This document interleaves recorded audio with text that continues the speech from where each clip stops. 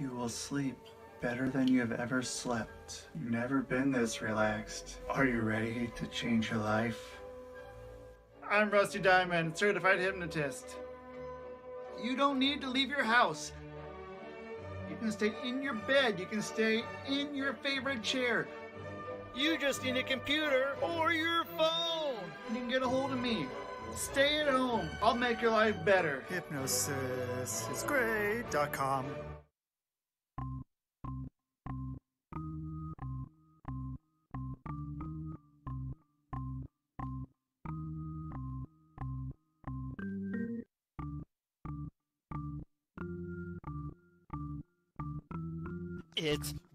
Rusty Diamond, motherfucker.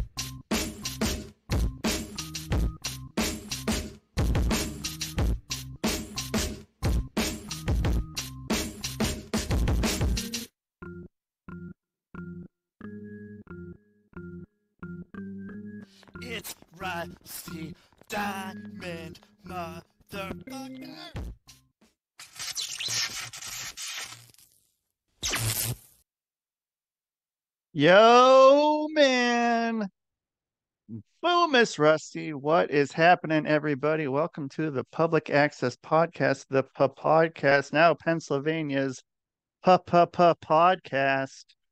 Thank you, everyone, for being here. If you are watching this and you are sick of my face already, but you love the content, love the guests, go to most anywhere you listen to podcasts, search the Public Access Podcast if you are listening to this and you think, oh well, you know what, I I could I could watch this, I could watch it. Go to YouTube or Rumble, type in the public access podcast, and there'll be a bunch that are going to show up.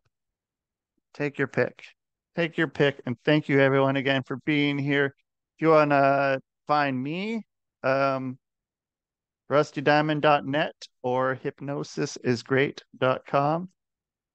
And if you are looking for me to get my guest on, you know what? It's that time. So it's time for me to bring on my special guest right here and right now. And my special guest right here and right now is Jim Salvucci. Thank you for being here, Jim. How are you doing today? Okay, thanks for having me, Rusty. Yeah, man. Heck yeah. Uh, you are welcome. It's uh Friday. I mean, whatever that means in anybody's life. I don't know. I don't know. Friday's another day. Um, what what's Good day. Friday mean to you? Friday means that I've got the weekend coming and get to do a little relaxation. What's that look like for you? Relaxation? Yeah, what's relaxation look like for Ah, you? mostly hang out with my wife. I've got a couple friends who live nearby. We might hang out with them. It's beautiful here this weekend, so gorgeous day. I live in upstate New York. It's gorgeous. So, okay, so how, I mean, upstate New York is a is a It's a vast area. it's a vast area and it can it can mean a lot of different things depending on where Yeah. where you live. Um, I mean, upstate could be 10 minutes outside the city, uh, you know, as well Yeah. as, um, you know, Niagara Falls or something. In terms Um, of official designations, I'm not in upstate. Upstate's north of here, but I'm in the mid Hudson. okay. Yeah. So then that, okay. Yeah. It's, it's always interesting to hear that part. Um, but yeah, I, I like it. Uh, I like it up that way. It's kind of nice. So, um, okay. And so, let's see. So I mean, yeah, Friday, Friday, Friday. Uh, are you are you a Monday through Friday, eight to five kind of a thing, or what's are you, are you up at like work start working at three o'clock in the morning? Uh, with, No, I'm know, I'm, I'm self-employed. Um, so I am up, you know, I get up early, I start working around eight. I pretty much quit around six, but I take breaks, um, because that's what I preach in my business. And um, I do tend to work on weekends, but I don't have to all the time. And I, I do a lot of writing, so that happens a lot on weekends. so uh, when you're taking your breaks, is that getting up, walking around? Is that Yeah, it could be anything. It could be getting uh, some exercise, going for a walk. It could be just getting up, doing a little movement. Um, I've I've taken up ukulele in my my dotage, so I might bang on the ukulele for a couple minutes, which I find very relaxing. so? What uh, how how'd that happen? How did you get into uh, ukulele in? Um, yeah, I don't know. Um, I used to try to play guitar when I was younger, and I never had the patience. And then I decided, you know, I'm getting older. I should pick up an instrument and see it. And ukulele only has four strings, so it's a lot easier. Did you find one somewhere, or do you seek it out? Uh, were you at like at a a shop or No, no, I something? And I bought it online. It was I decided to just look go for it. It was during COVID. You know, people picked up things during COVID. They picked up COVID and they picked up the instruments. yeah. And uh, so then, okay, so during then you were able to. And it was, so what was your what was your learning style then, I guess? Were you going on to YouTube and uh, copying someone what Yeah, they're doing? there's like Cool. Okay. YouTube instructors, you know, that kind of thing. And that's how I picked up the basics. And then I started just using apps to get the chords and and whatnot. I play it kind of guitar style. I don't I don't really care for the ukulele junka junka junka style. Yeah. Okay, that's cool. And so like I mean, uh I'm I'm a big fan of YouTube University. That's so Yeah. yeah, I mean, I definitely have gotten multiple certifications that way. Um well, self-certification, uh no actual paperwork, but uh learn Affirmations. affirmations. Yeah. Yeah. I love it. I love YouTube.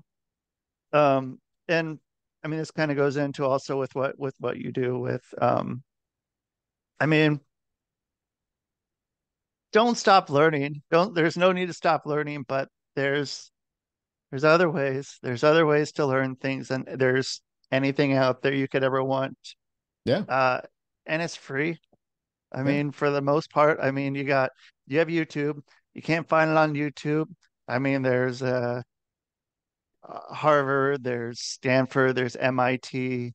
But you can find that Uh, on YouTube as well. So eh, yeah, right. Uh, okay, so then you got YouTube on there. I mean, Um, years ago, I heard YouTube, and this is a long time ago, I heard YouTube described as the archive of our culture.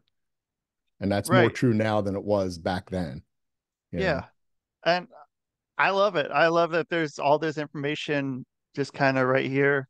I mean, it's it's a lot easier than, you know, what we had to do. And I couldn't imagine the simplicity and streamlining of what would go on. Um, I think I would have learned how to get, I mean, to be honest, if I was in middle school, high school right now, I would have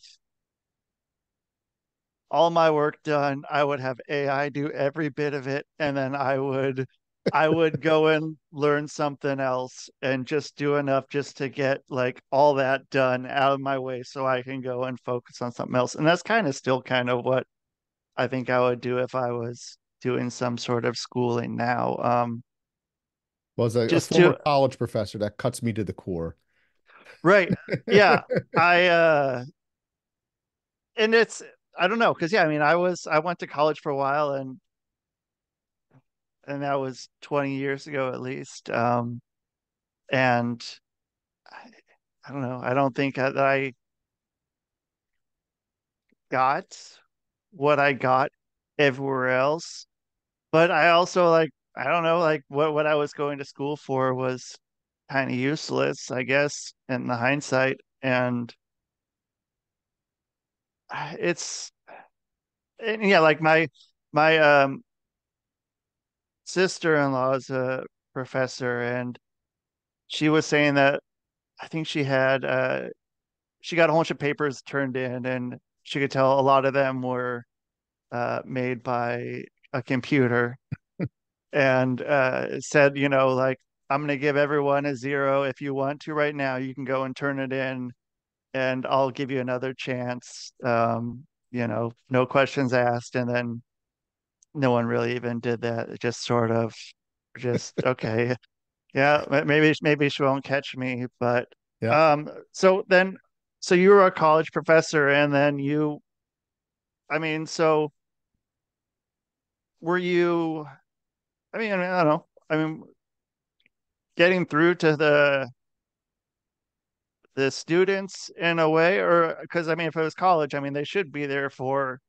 some sort of reason, but then in actuality, I mean, like, how many people are going because it's, I mean, I ask people this now why they're going to college, and I had some kid, and I don't know, I think he was in college at the time, and I asked him, and it was basically like, I don't know. Basically, I, I said like, well, so you're going because you you don't know what you're doing. You're going to college to go to college, and it's just like, well, like I don't have, you know. Basically, it was his parents would pay for it, Yeah. and he doesn't have to do shit for four years. No, I mean, you're still doing stuff, but Yeah. so what? What got you into wanting to be a college professor? Well, it wasn't it wasn't my first career, but um, I'd always wanted to do it. Um, I just I was a- an English professor. I just loved studying literature, so I just wanted to do what I love and what I was good at, and I wanted to teach other people those skills, right? Yeah. You know, because you learn And- how to think and write and research and do all these practical things. Right. And so, and but okay, so I mean, you got people with a bunch of different learning styles and stuff, and how were you able to kind of adapt to that, or did everyone kind of have to adapt to your style? Yeah, and I mean the learning style thing's kind of it's kind of been debunked. Like everyone has their learning style, but no one has a single learning style. And you know, they, they can be circumstantial, and you don't have to actually match the teaching style to the learning style. People can adapt pretty easily.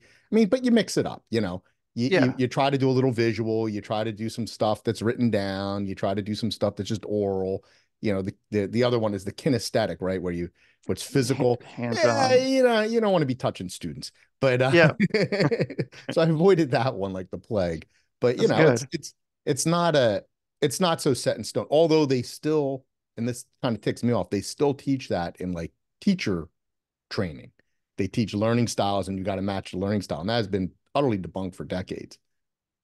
And so then why hasn't, I mean, there's a zillion different answers that I could say um, about like why it has not been updated. Um, Uh, I but could I I, could go on and on about it. yeah, well, well, I mean, please do. I mean, uh, Uh, I you know, go, yeah, There's a, because a lot of a lot of the way and and I used to I would I became an administrator and I, I actually oversaw education programs, big ones. Um, and they do a lot of good in terms of producing teachers, but they also they're they're so set in their ways. They're so kind of just locked in. Everything's about meeting standards, right? You have these national accreditations, you have state accreditations you got to meet that are set by outside bureaucracies. And so you got to match them. And if they say learning styles is in, then you got to deal with learning styles. It doesn't hurt. You know, like the learning style thing doesn't hurt anyone, right. but it is a waste of time. Yeah. And I mean, yeah, I'm from Oregon. Um, and I mean, so like with Oregon, you don't need to be proficient in reading, um, writing, or math to be able to be advanced to the next grade anymore. Yeah. And that's I uh, mean, that, but that does that raises those graduation uh, rates, Yeah. and it uh, makes sure that you know those numbers are being hit. But do you want to do you want to hear about Goodhart's law? Oh, please, is the reason yes. behind that. Like this is this is something I don't know why more people don't notice this. But um there's a, it's an it's it comes from like a 1970s economist named Goodhart and it's been adapted many times. But the idea is that just in layman's terms, if if you set a measure as your goal, right? A number as your goal, then then the goal kind of becomes or the measure becomes irrelevant, right? Because Right. people tend and I my codicil to that is people tend to game the system. So a classic example is um when like like a state police force has a ticket quota. Oh, know, okay, yeah, and they're supposed, why do you have tickets? Well, ostensibly to get people to stop driving fast, right? You're, you're so Right. you don't, so they're not a danger to society, right?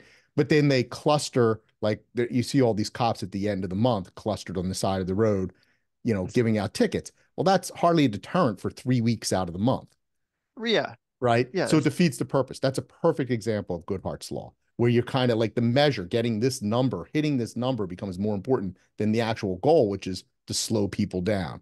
It's the same Yeah, thing it- with standardized tests in education. That's why you have schools teaching to the test, you have teachers teaching to the test, you have people cheating. You have entire school districts cheating on standardized tests. Why? Because their funding is tied to the grade those students get on those standardized tests. Their prestige is tied to that grade, but that grade is a measure, not a goal. And since Right, you're and I- using the measure as a goal, you know, you end up gaming the system. Yeah, and it's only really just to remember it to forget it.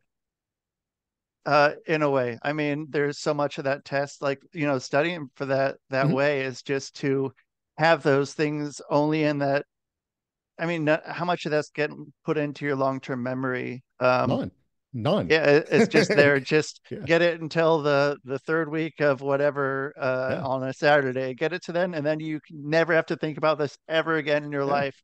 You know, maybe Yeah. maybe you go on Jeopardy, it might show up somewhere, but um, probably not. And it's it's ridiculous. There's so much of that that it's not meant to go into your long term. I mean, the, the the main thing supposed to go into your long term is that, you know, set by the I, I always forget. I want to say it's the Rockefellers that started the school system. Um, if it wasn't the Rockefellers, it was I mean, like the public school system? the public school system. Um, I don't know I it's any believe- one group. It's kind of a state by state thing, I think. So what I heard was it was that they kind of spearheaded it to get it. So you have the eight hours a day, five days a week for 12 years because it takes that amount of time to uh, in your subconscious, unconscious memory indoctrinate someone fully with an idea, which would be able to give them the best workers to get ready for that five hours or five days a week, eight hours a day, uh, you know, lifetime until they're I, at that time was, you know, not not the age it is now, but um, yeah, it takes yeah, twelve hours or twelve years, five days a week, eight hours a day to indoctrinate someone, kind of you know unknowingly, but Right. it works. Um, yeah, I, I'm pretty sure it's Rockefeller. If it's not Rockefeller, it is someone just like it. But yeah, I have um, no idea. but I don't know. Um, that's kind of how it goes, I guess. Um, Yeah. so yeah, he. Uh, okay, so it was him. It was Rockefeller, and he created the General Education Board at the ultimate cost of 129 million dollars, and provided major funding for schools across the nation, Wow. and very influential in shaping the school system. So I mean, yeah, you got. When was that? Uh, I think it said 1929. Okay. So um, Yeah. yeah, well, what a year too to have Yeah, yeah, just to, just in time to crash the economy. Right. Yeah. Interesting. I, I didn't put that together until just now. I was like, oh, okay, 1929, huh? So, um, yeah, I mean, that kind of makes sense. And so, what what was it that? And you probably answered this a, a bunch of times, but uh, what was it that got you to be like, hey, I need to take a step back? I guess not what got you to finally leave, but what got you to start questioning, like, it might be time for me to get out, or I'm seeing stuff here that I'm not fully on board with. Yeah. Well, I became an administrator, right? So I became a dean and then I was a provost at a couple different colleges, right? So number two to the president. And I got to see higher ed leadership up close and personal. Um, and there's, I mean, there's almost a hostility to the notion of leadership in higher ed. And some of my former colleagues would be appalled to hear me say that, but it's true. And I, I have Sure. receipts. Um, and I had one, I actually did work for a president who was fabulous for one year and then he retired. It was it was a disaster for me. Um, Yeah. eh, because a new guy came in and cleaned house. But um the yeah, so he was he was wonderful. He was the best boss I ever had. He's really a, he was a true leader. He'd been doing that for 22 years. Whoa. Um and you know, and he he was just great. But what you know, was it? Hmm? Uh, what was it about him that made him so yeah, great he was about? he was um he was just very um he was honest, frankly, and he took responsibility. You know, he didn't it wasn't about his ego, which was a big deal. It wasn't about his ego. Um, it was about getting the job done, doing right by the students, doing right by the university at all times. But the the you know, it was stacked against him even at that time. Um, Yeah. you know, it just the whole system is stacked against him. He was kind of a kind of a freak out there. I have I have another. I had a friend who became a president of a very elite school, not too far from where you are, and um, she took over as president, and it turned out there was a massive hole in the budget, and by massive I mean millions. She's oh. brand new, and she did the right thing. She called the press, right? What they usually do is they're, oh, don't tell anybody, blah, blah, blah, blah, blah." and now you've got two problems. You've got the problem of the that you have, right? The financial problem, Right. and you also have a publicity problem. Now you're covering something up. You know, why would you do that? So she immediately called the press and gave an interview and ended that problem right then and there. Nobody cared after that, right? And so, Right. and, and right, took that off the table.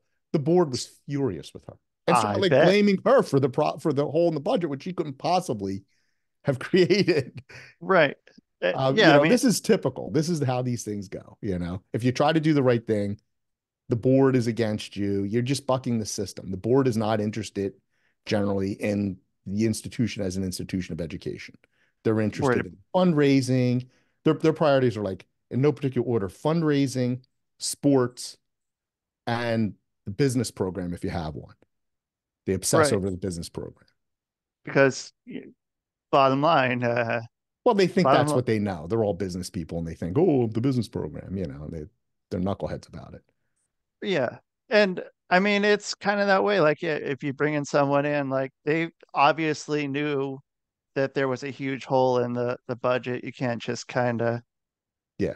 Do that. And so maybe maybe they were having her, you know, they hired her because they thought that it would be easy to start to pin it on her. That's what it Or- looked And like. yeah. And And then she went ahead and like, you know, did the right thing and they weren't expecting that. Right. Um, And so the, the press was was happy, uh, or Yeah. you know, the press, but the people who read, they're like, "Oh wow, like look what she did." Uh, Yeah. And it was very cool. I've never seen anything like it. It was very cool. and yeah, yeah. I mean, so, and what happens then after that? Like, what, where, where's the? Are they are they like going after her? You know, trying to Yeah, I mean, there's pin- been all the things. I don't want to say then- too much because I don't want to out Sure. the college. You could, you know, but yeah, um it was it she was um yeah there were other things that were her predecessor's fault that she kind of took the fall for things that she couldn't possibly have even begun to move the needle on. Um Yeah. you know and she's just been embattled ever since. She's still there but she's still embattled. You know it's been years of this. And Yeah, so here and- you have somebody who actually wants to lead and they stack the deck against her. And that's kind of the thing like with that too like if you do you want to go and like disrupt the system one thing is you do have to work with a bunch of dickheads yeah. And like every day every day you have to go in and do that like Mhm. I, I got into politics for a second and then that's what i learned. I was like well i'm i want to make this stuff better. And then then it was like i have to work with these people every day? Yeah. no these people suck. These people are are horrible. I don't want to spend my time doing this. It's not not worth it. There needs to be something to change but that's not the way to do it.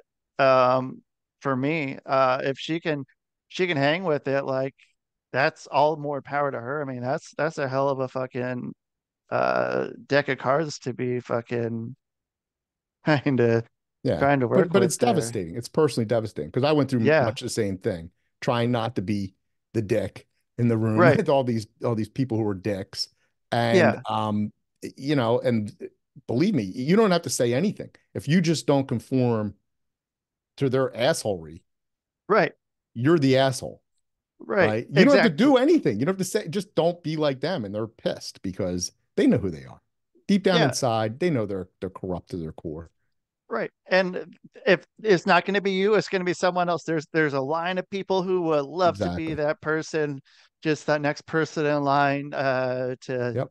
climb that little ladder and Yeah. get there. And which is why i do what i do yeah, and so then you were just one day or was it was it like one one big thing that happened or was it like yeah i a got fired of that was a big thing Oh, okay, that'll do it. I was a provost that got fired. I was never told why. I know why. because it was it Yeah. was there was a there was another vice president who had it in for me from the day I started and had the ear of the president. And the president was incompetent, doesn't do it justice. Um, a, a, AWOL would be more accurate. Oh Uh, shit. Okay. Uh, yeah, and I was I ended up I was her number two, so I ended up picking up a lot of the slack, just ceremonial stuff. You know, events, she's not there, and it's like, what the hell? And I got to like step up and, you know, Oh, be the yeah. host or whatever. It was bizarre. Um, and then one day she walks in my office, and says, I want you out of here in two weeks. I was like, what? Whoa. Yeah, it And- was really weird. It was when I said why, and she was like, I just do, you know. It's just there was no reason. And so were you I mean, what was going through your head at that point? Was it like uh was it oh shit to okay Yeah, well, or it was, was it shit, but it was at the same time, it was a little bit of relief because it was horrible working with those people. I mean, they were really bad people doing very bad things to students. I mean, they were, I actually thought about reporting them to the Department of Ed. Um, I seriously looked into it and uh, decided not to because too many good people would be hurt. But I thought they were doing bad things financially. what what do you mean people like that would be kind of in the crossfire that were a part of it? There's, there's, Or- they had a fabulous faculty.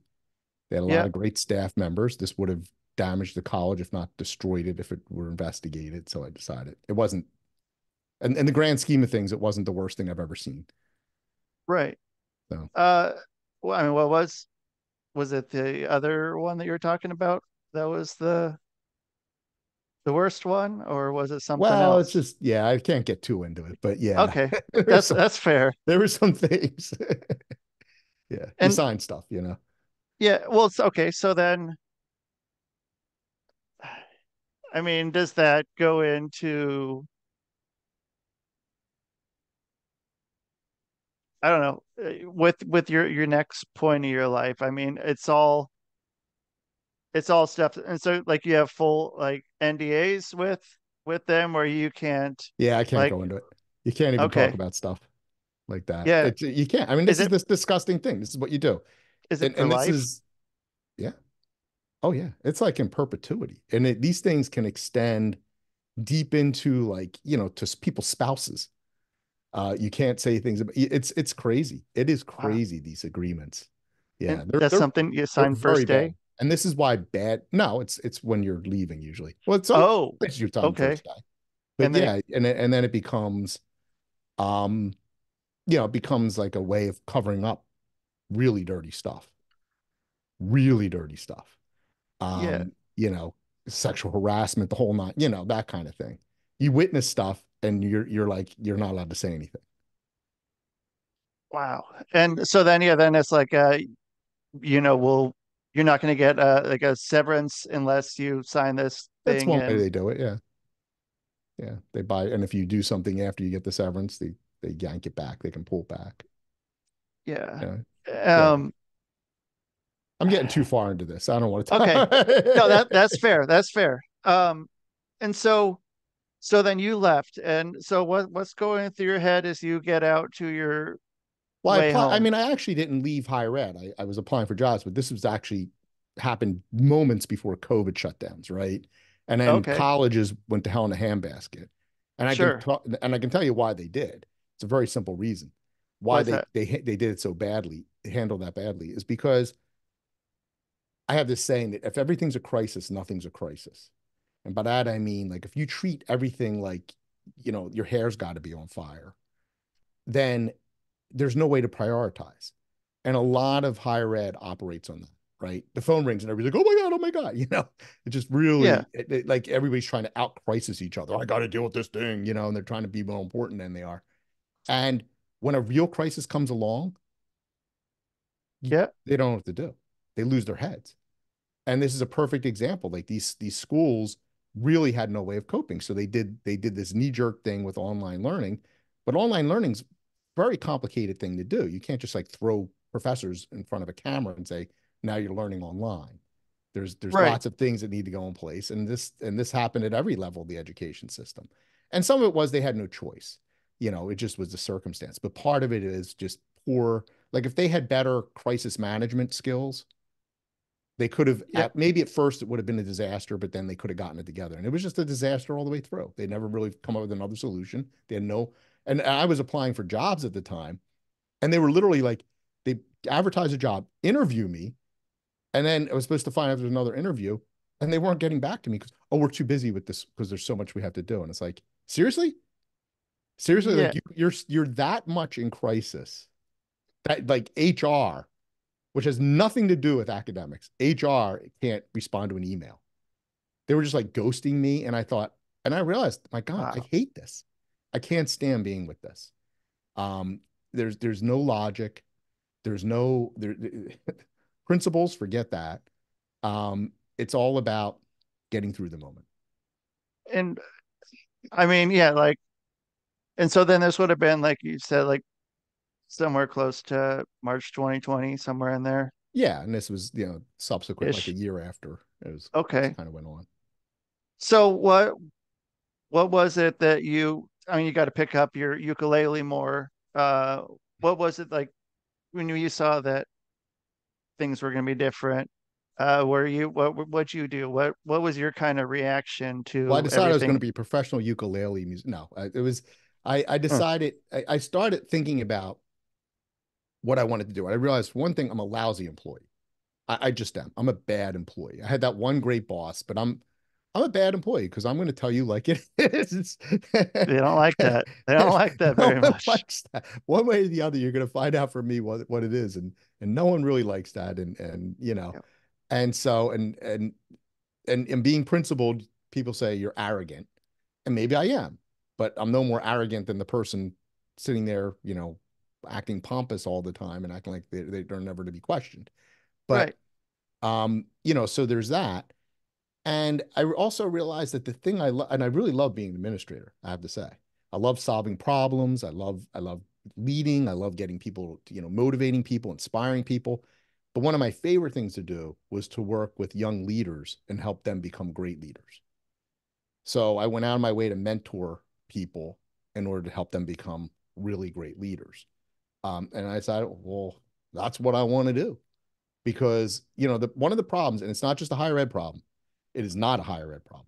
It, it's a, a universal problem. One of the problems we have in this world is bosses suck. Pretty universally, right? Well, Yeah. to me, the opposite of a boss is a leader.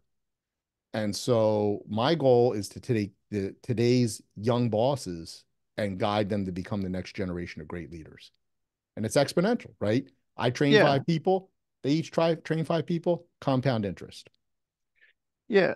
And I mean, so then what what happens to them? Like, not to give away your, your program uh too much, but like if if they come across come across something of they're put in the situation where it's going to be, uh, you know, they're being put in like what your friend was put in, where there's not really a win, um, Yeah, and it's they're just I, you know, there's no there's no universal answer. Um, you know, sometimes there is no win. Sometimes the the win is get the hell out.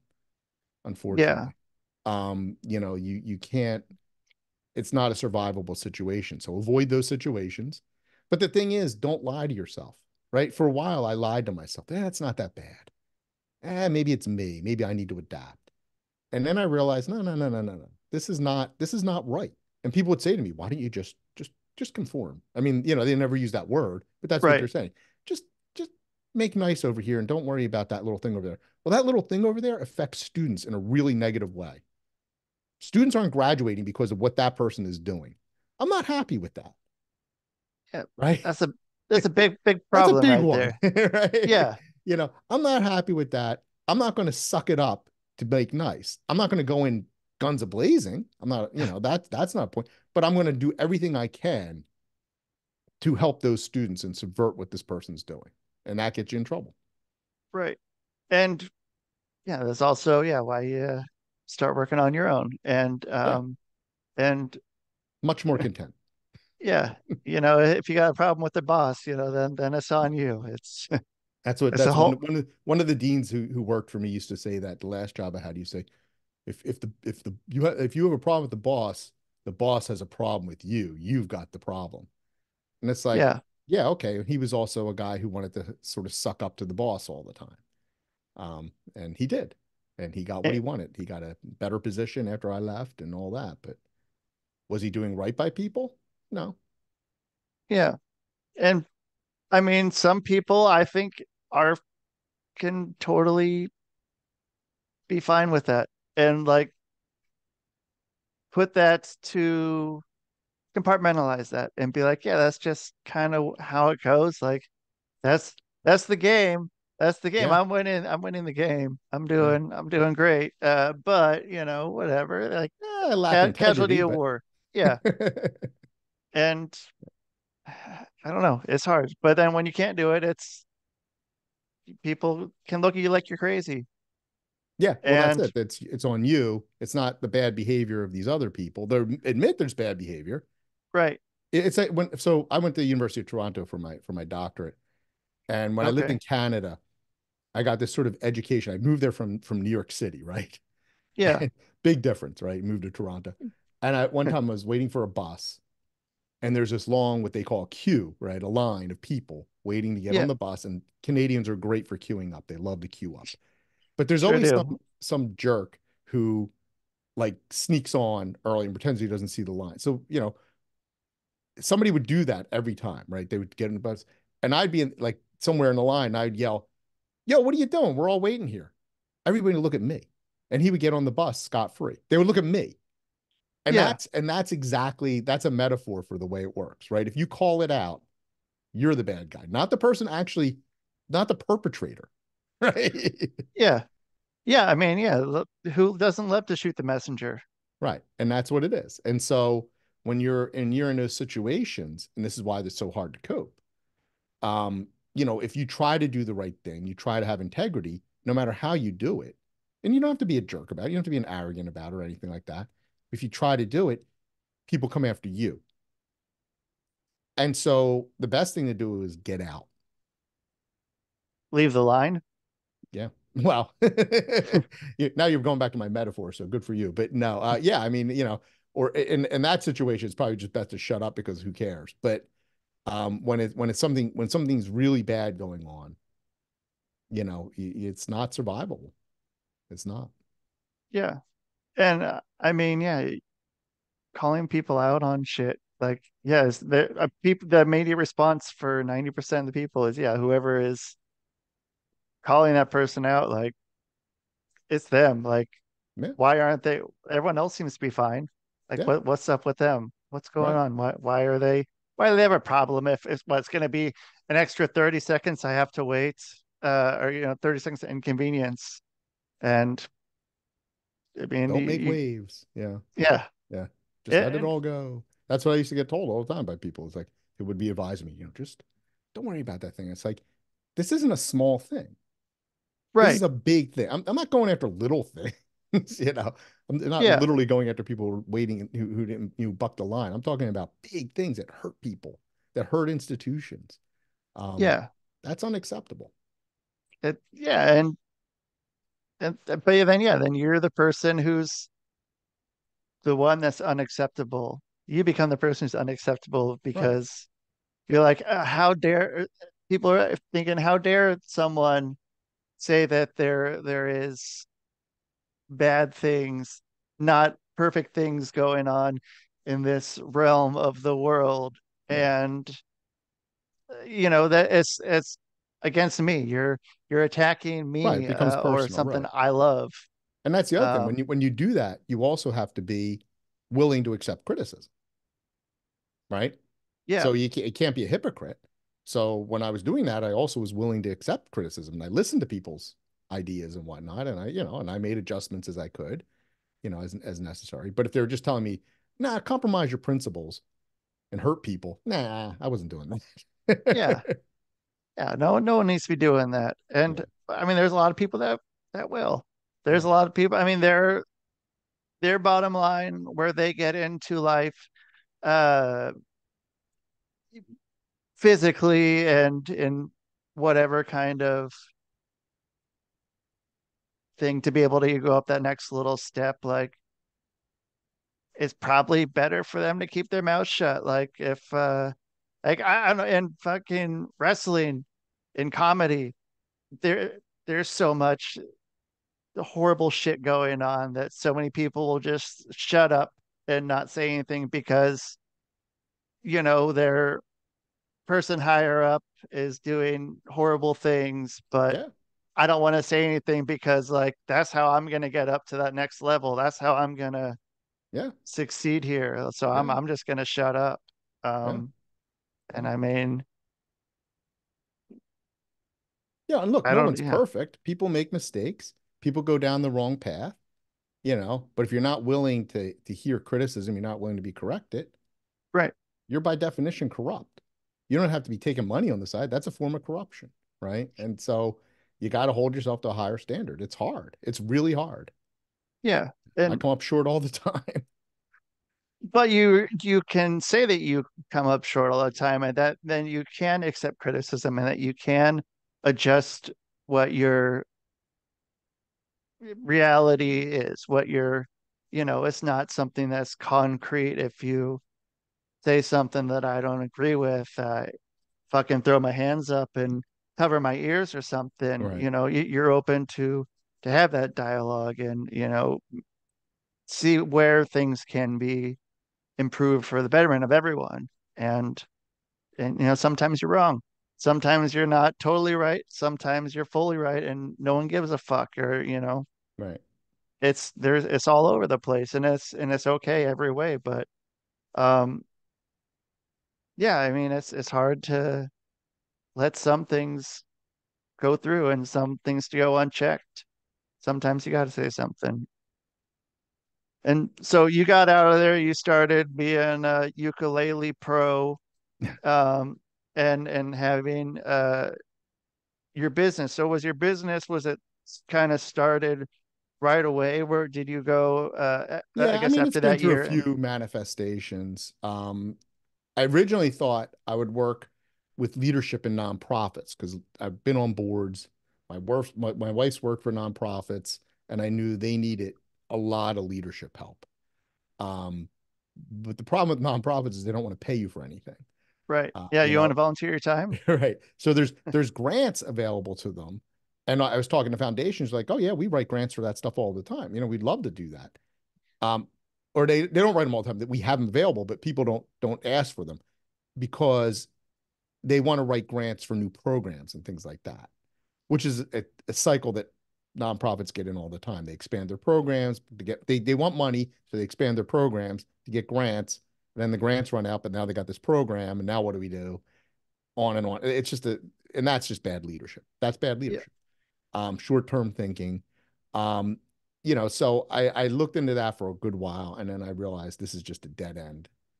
Um, I'd moved to a new area. I was trying to make connections. It was all during COVID, so that was a little hard. And then I um and then as as I evolved, I realized I needed to be more industry agnostic. So I'm pretty much open. And then I started focusing more and more on younger people because I realized I needed to get people before they were broken. So I mostly work with people like millennials, people who are not, you know, really who are sort of new to bossing, who want to be good leaders. Yeah. And so then uh what was kind of your your style to find people um at, Yeah. at first? Was it um 'cause I mean there's so many different avenues of that when you you have a new service for people. Um how are you kind of finding those Yeah, first few that's that that's a steep learning curve, um, the marketing thing. Um, you know, so yeah, I mean, some of it's through networking. I, I I'm actually contract with an organization that actually supplies people from corporations, um, which isn't particularly lucrative, but it, it it's a good thing to do. Um, and um, you know, uh, I'm I'm now trying to move more onto LinkedIn and start doing marketing there and get more people that way. Um, it's you know, but when, once you start getting referrals, then it sort of takes off. But I'm also moving more toward speaking and writing. So I'm I'm shifting my emphasis. I'm going to continue to coach because I love coaching and I'm good at it. Yeah. But I also want to get more on stages, give give talks, get on podcasts like this, and um and uh, do do some writing. So I'm talking to a publisher right now. I'm trying to get Have you- out. Written already? Have you started writing already on it? Yeah, so I have I have a um podcast blog.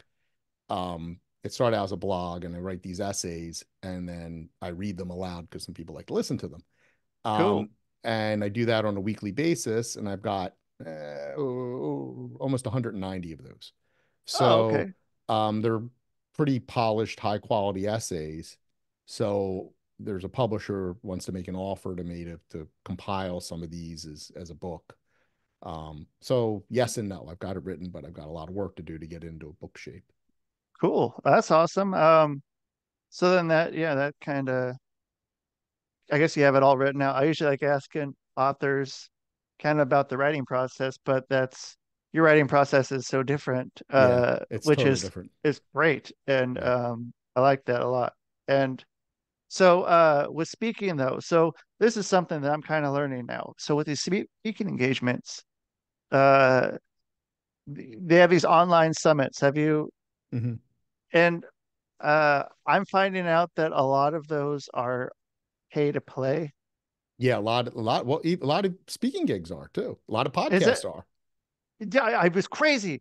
It's crazy. and I, I don't know why I'm not doing it, but like, Well, I I wouldn't be on I- it. yeah, I, I wouldn't be on it either. I have people saying I had someone say like uh, they wanted like two hundred and fifty dollars to be on a podcast, and then I had someone I asked to be on a podcast, and they said it was the two hundred dollar fee for them to appear on the podcast. And I'm like, who the fuck are you? Like, It's like What- it's well, like- if you're using if you're using that for your marketing, it makes sense, right? So if I was sure. if if if I thought that my my best audience was a certain podcast that had a big audience and my people were there and I could reach them, paying two hundred fifty dollars is a bargain, sure, right?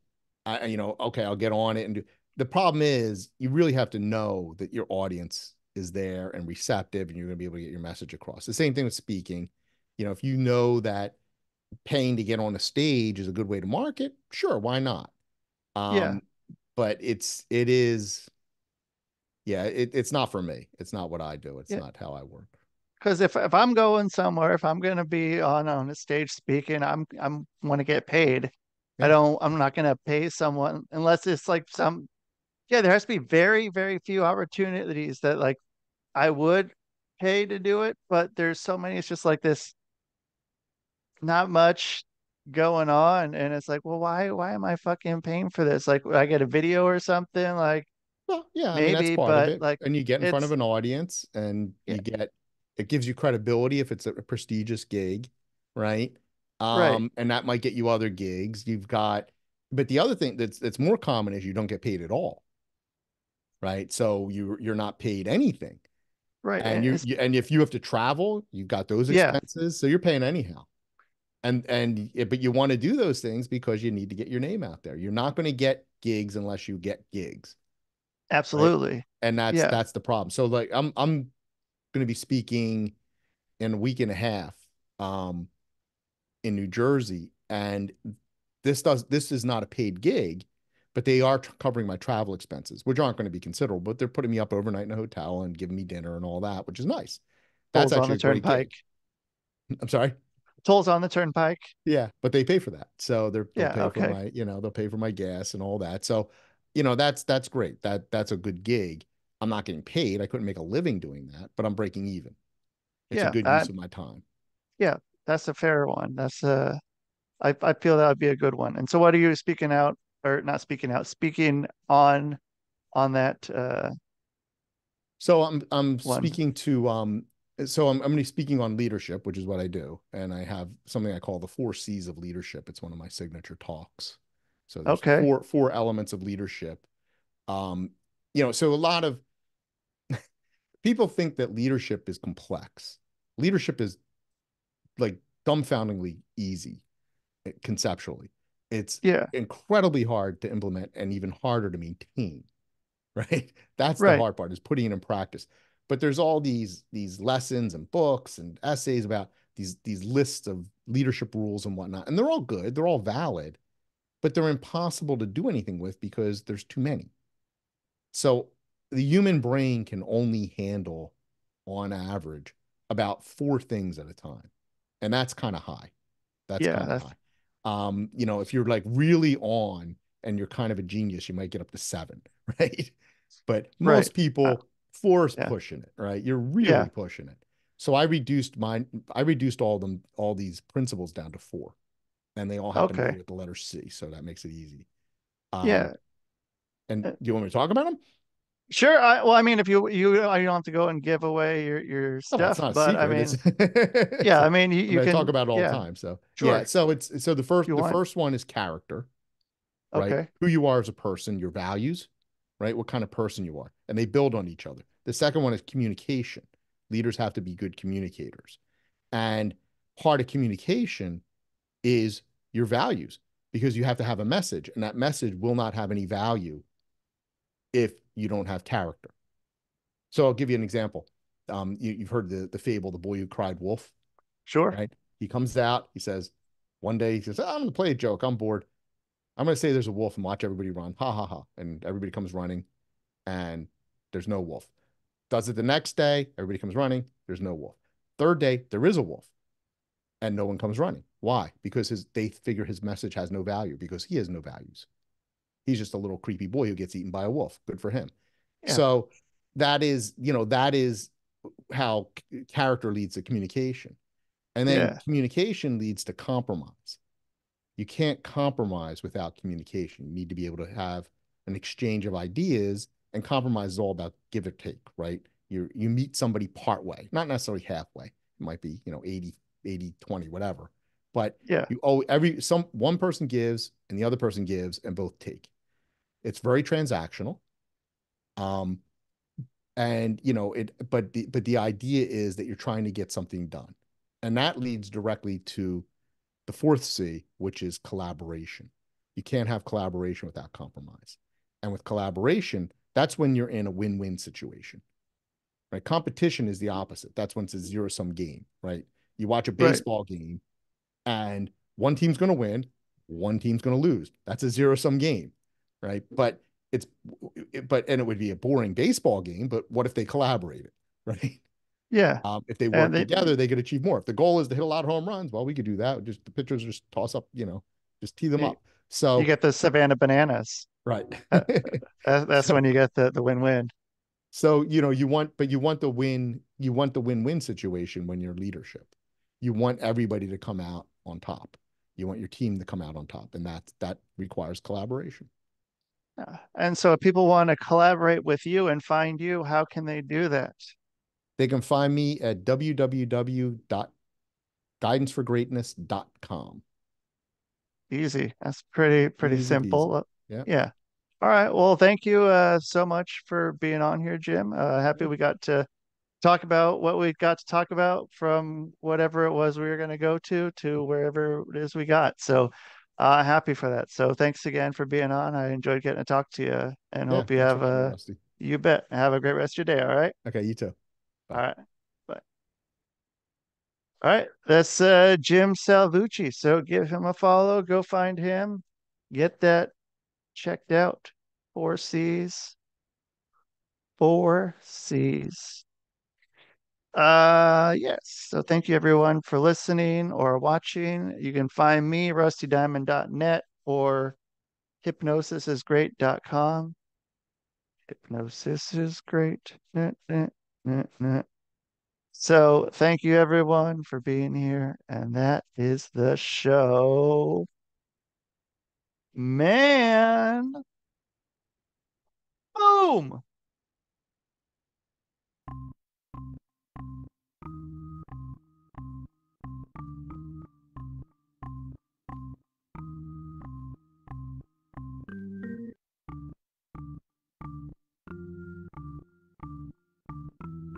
It's Rusty Diamond, motherfucker.